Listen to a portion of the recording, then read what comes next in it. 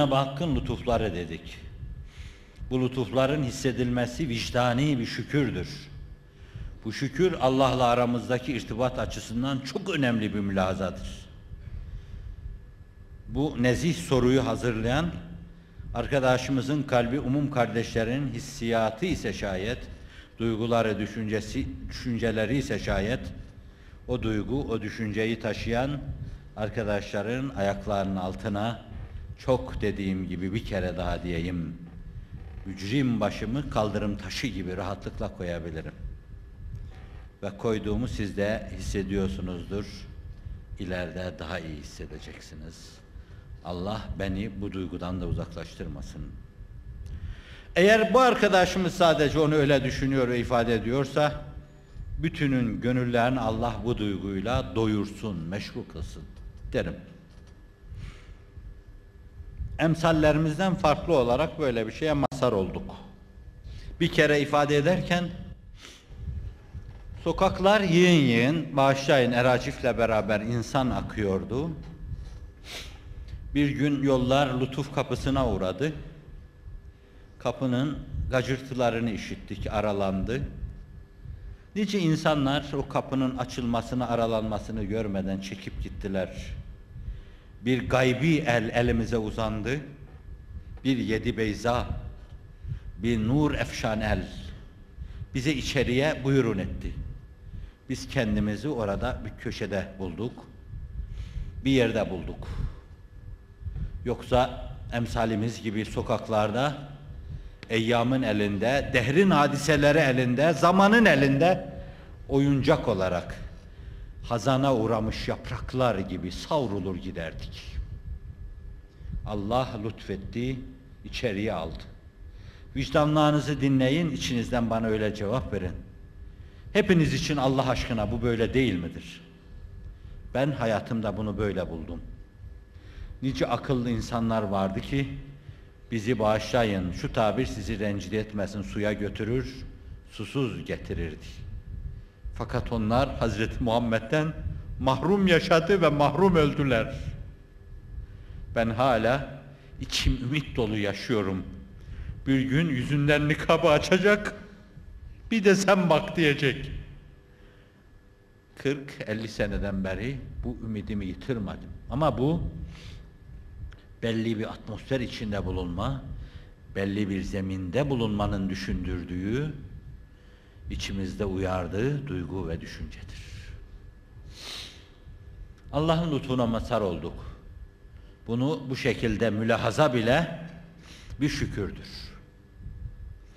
İkinci fasıl, her nimetin şükrü kendi cinsinden.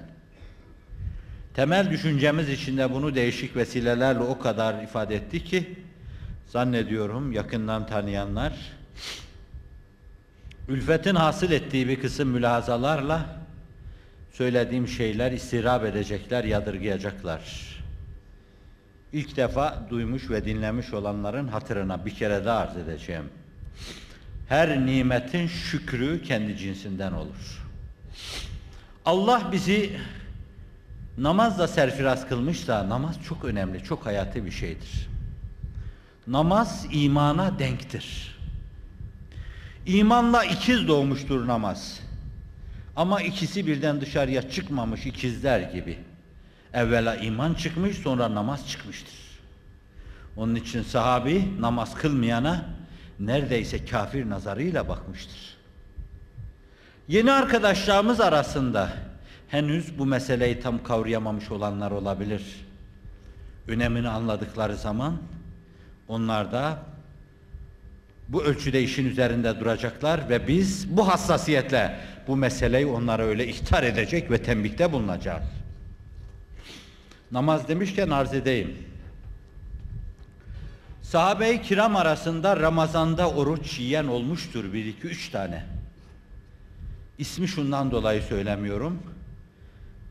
Diyorum ki ben o sevdiğim kâmeti bala onun hatırına keşke Allah hadis kitaplarında da onu silse bana da bunu unuttursa hiç düşünmesem o büyük iradenin böyle yaptığını. Ama oruç yiyen olmuştur. Zekatını aksatan da olmuştur, helak olmuştur namaza denk bir şey ama aksatan olmuştur. Sahabe-i kiram arasında iki üç tane zina töhmetiyle ve şahitlerin o mevzudaki şehadetleriyle cezasını gören ölen insan veya kendisine had vurulan insan da olmuştur. Yalan söyleyen de olmuştur.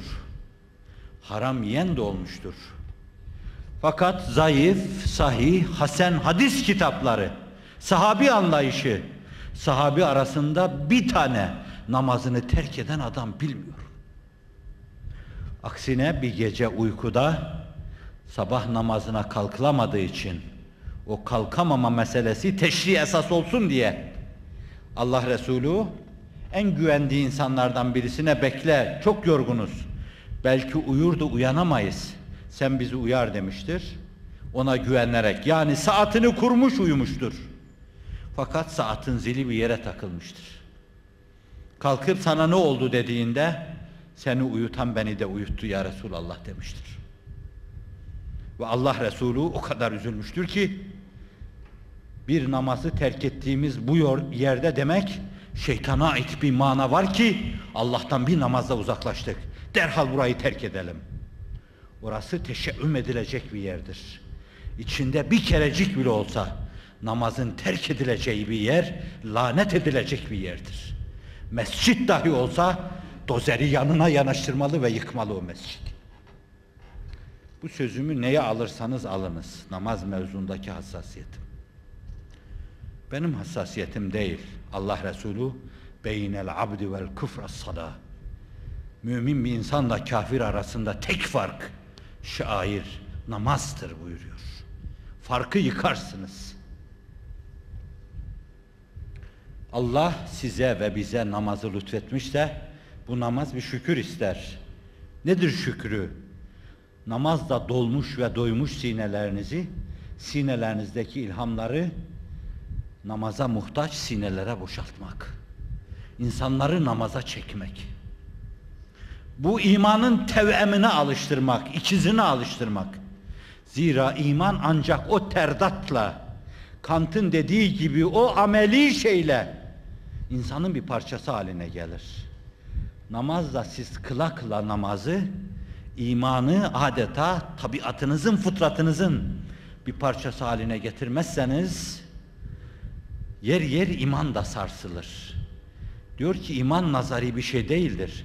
Delilleri topladınız, kendinizi ikna ettiniz veya yetiştiğiniz yer sizi öyle imana zorladı, inandınız. Bu nazari bir imandır. Bununla siz bu safhada ancak iktifa edebilirsiniz ve bu safhada o size yetebilir. Esas yetecek iman, amelle takviyesini bulmuş, tekidini bulmuş imandır. Alvar imamı namazsız, niyazsız, namaz cümle ibadetin piridir. Sefineyi dini namaz yürütür. Namazsız, niyazsız İslam olur mu? der. Namazın şükrü namaza alıştırmak. Orucun şükrü oruca alıştırmak. Hak ve hakikati neşre uyanmışlık. Bunun şükrü de halkı hak ve hakikata uyarmak. İrşat kadrosuna her gün yeni birilerini ilave etmeye çalışmak. Her ibadetin şükrü kendi cinsindendir. Siz de iradenizle dünyaya kendinize göre bir boya çalacaksınız. Bu boya Allah'ın eşyanın çehresine çaldığı boyadır.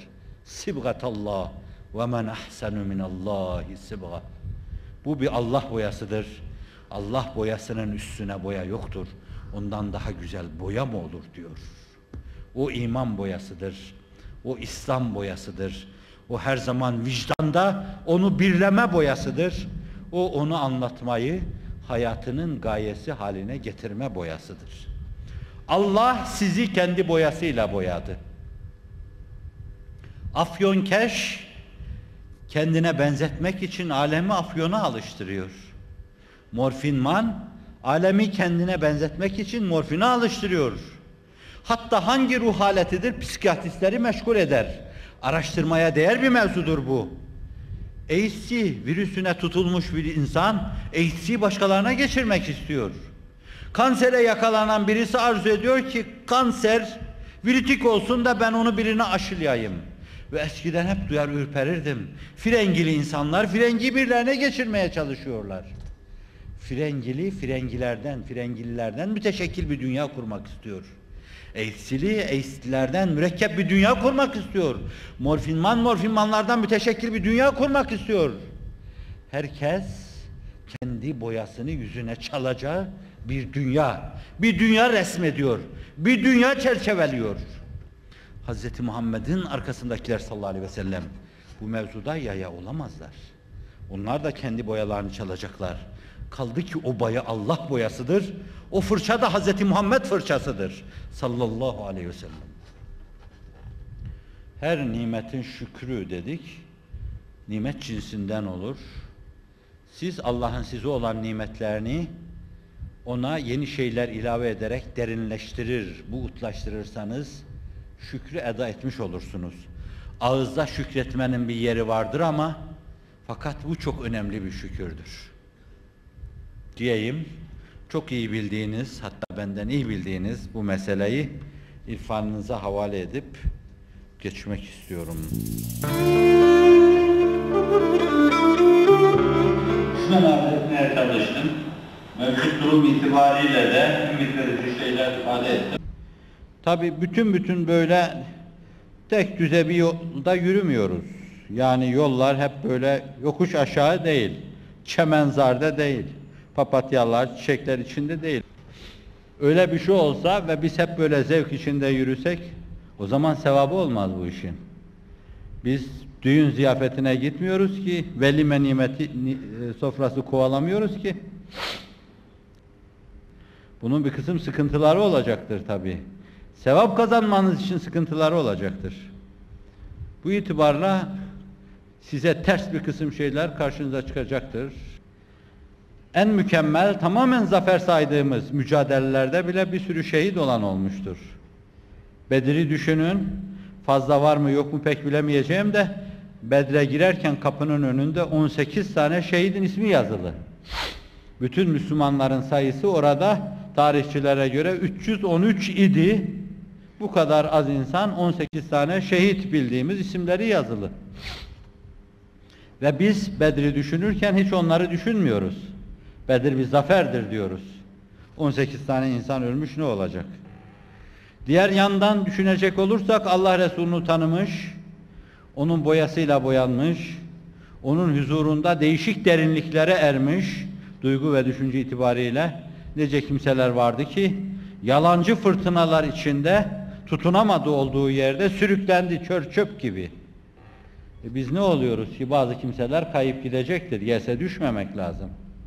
Ebu Hüreyre diyor, beraber sohbet dinlediğimiz insanlardan biri vardı ki, Yemame'de yalancı peygamberin ordusunun içinde Hz. Muhammed ordusuna karşı savaşırken öldü.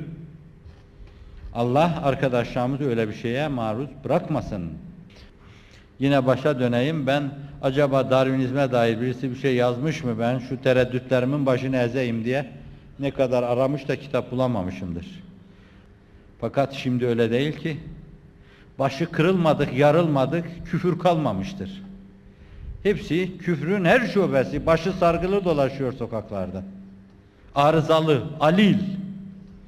Ve bundan sonra da bu alillerden, arızalılardan doğacak şey anomalidir. Gerçek bir entropi bahis mevzuysa onlarda vardır. Hep sakata doğru. Hep bozulmaya, çözülmeye doğru. Ve biz de bir harika şeyle, desti inayetle hep elhamdülillah sıhhata doğru gidiyoruz. Her gün biraz daha sağlamlaşıyor, pekişiyoruz. Merhum Necip Fazıl şöyle derdi, makamı cennet olsun. Başkaları işi sulandırıyor, bir şekerden kazanlarla şerbet yapıyorlar. Biz de ileride kullanmak üzere kazanlarla şekeri daha da sıkıştırıp işte öyle bir şerbet yapmaya çalışıyoruz. Ve inşallah o bu Sahip Kıran o çizgide günümüzde hizmet eden parlak kalemler aynı şeyleri yaptılar, yapmaya devam edecekler. Bize düşen şey de onların bu mübarek miraslarını yedi veren gibi değerlendirmek, çoğaltmak ve geleceğe götürmek.